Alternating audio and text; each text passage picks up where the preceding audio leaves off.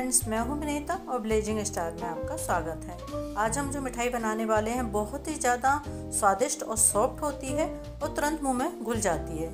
इसको बनाने के लिए हमें मार्केट से कुछ भी इंग्रेडिएंट्स खरीदने की ज़रूरत नहीं होती है। घर पर रखे हुए इंग्रेडिएंट्स से बनकर तैयार हो जाती है। इस मिठाई को बनाने वाले हैं हम मूँग की दाल से। तो चलिए हम मूँग की दाल की बर्फ़ी बनाना शुरू करते हैं। बर्फ़ी बनाने के लिए हमने एक कटोरी दाल ली थी और इसको लगभग एक से डेढ़ घंटे के लिए पानी भिगो कर रख दिया था। बढ़िया से गल चुकी है, इसको ज़्यादा भिगोने की ज़रूरत नहीं होती है, एक डेढ़ घंटे में बढ़िया से गल जाती है। देखिए दाने बढ़िया से टूट रहे हैं। अब इस दाल को हम थोड़ा सा पंखे के नीचे सुखा लेंगे। मैंने एक कॉटन कपड़ा लिया है और उसके ऊपर दाल को अच्छे से हम फैला लेंगे। हमें ऐसे एक घंटे के लिए ऐसे ही फैला छोड़ देना है।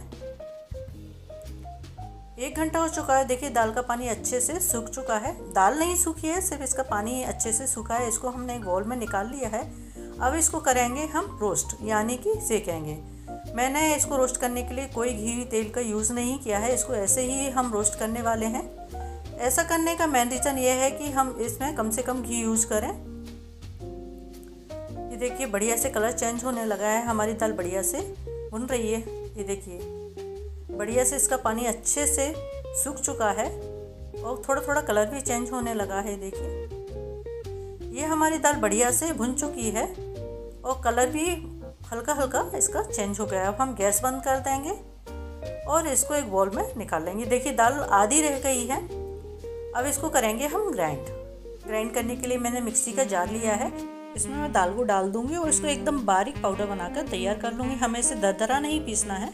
ये मैंने दाल को पीस लिया, दिखाती हूँ मैं। ये देखिए, एकदम बारीक पाउडर बनाकर तैयार कर लिया थोड़ा बहुत दाने रह जाएँगे, वो तो रहेंगे।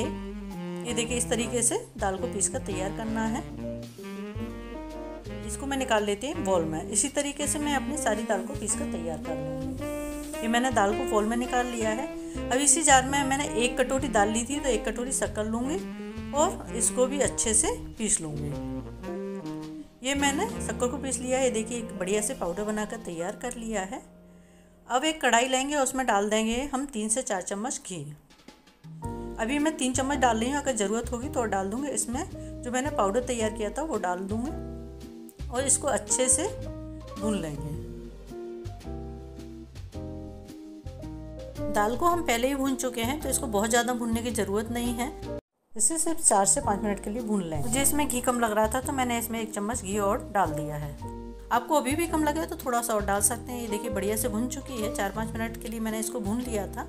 अब इसमें मैं डाल दूँगी शक्कर और मैंने गैस को कर दिया है बंद। और शुगर को अच्छे से हम मिक्स कर लेंगे। ये देखिए बढ़िया से मैंने इसको मिक्स कर लिया, इसको साइड कर देते हैं। अब हम एक कटोरी लेंगे खोया। ये खोया मैंने घर पर बनाया है, आप चाहे तो बाज़ार से भी ले सकते हैं और यदि घर पर बनाना चाहते हैं और आपको बनाना नहीं आता है तो मेरे चैनल ब्लेजिंग स्टार कुकिंग में जाकर देख सकते हैं। आप चाहे तो उसकी लिंक भी शेयर कर सकती हूँ आपके साथ। ये मैंने खोए को कढ़ाई में डाल दिया है, मैंने घी नहीं डाला है, ऐसे ही इसको भून रही क्योंकि खोए में घी होता है। ये इसको भूनते हुए लगभग दो तीन मिनट हो चुके हैं और ये हमारा खोया थोड़ा सा भुन चुका है। अब इसमें हम डाल देंगे मूंग दाल पाउडर और इसको अच्छे से मिक्स कर लेंगे। फ्रेंड्स यदि अभी तक आपने मेरे चैनल को सब्सक्राइब नहीं किया है तो प्लीज़ प्लीज़ मेरे चैनल को सब्सक्राइब कर लें मेरा वीडियो कैसा लगा ये कमेंट करके बताएँ। मूंग दाल की बर्फ़ी बनाने का रेशियो एकदम सिंपल है। हम इसमें एक कटोरी मूंग दाल लेंगे, एक कटोरी शक्कर लेंगे और एक कटोरी लेंगे खोया। यदि आपके पास खोया नहीं है, यदि आप खोया डालना नहीं चाहते हैं तो उसकी जगह एक कटोरी मलाई भी ले सकते हैं। ये हमने सब चीज़ों को अच्छे से मिक्स कर लिया। अब इसमें डाल देंगे हम ऑरेंज फ़ूड कलर इसको मैंने दूध में मिला लिया था। इसके साथ ही हम डाल देंगे एक चौथाई चम्मच इलायची पाउडर इन सबको अच्छे से हम मिक्स कर देंगे। फ़ूड कलर ऑप्शनल है। यदि आप नहीं डालना चाहते तो कोई प्रॉब्लम नहीं है। आप स्किप भी कर सकते हैं। ये बढ़िया से हमने सबको मिक्स कर दिया। अब इसमें हम थोड़ा थोड़ा करके दो कटोरी पानी डाल देंगे। हम एक कटोरी पानी डालेंगे, फिर उसको मिक्स कर लेंगे। फिर हम इसमें एक कटोरी पानी और डालेंगे। ऐसे करके हम इसमें दो कटोरी पानी डाल देंगे। मतलब एक कटोरी दाल, एक कटोरी शक्कर, एक कटोरी मावा और दो कटोरी पानी। सिंपल रेशियो है इसका। ये हमने एक कटोरी पानी और डाल दिया है। तो इसको अच्छे से हम मिक्स करते हुए चलाएँगे। ये हमारा बर्फ़ी के लिए परफेक्ट डो बनकर तैयार हो चुका है। अब इसमें हम डाल देंगे दो से तीन चम्मच घी। मैं दो चम्मच डाल रही हूँ, आप चाहे तीन डाल सकते हैं। और चाहे तो स्किप भी कर सकते हैं घी को, लेकिन घी डालेंगे तो आपकी बर्फ़ी बहुत बढ़िया बनेगी। इन सबको अच्छे से हम फिर से मिक्स कर लेंगे। ये हमारा डो बनकर तैयार हो चुका है हमने गैस बंद कर दी है। अब एक प्लेट लेंगे, उस पर अच्छे से हम घी को फैला लेंगे। हमें घी को बहुत अच्छे से फैलाना है प्लेट के ऊपर, ये हमने घी फैला लिया है। अब इसमें हम डाल देंगे मूंग दाल का डो जो हमने बर्फ़ी के लिए तैयार किया था। और इसको अच्छे से हम पूरी प्लेट में फैला लेंगे।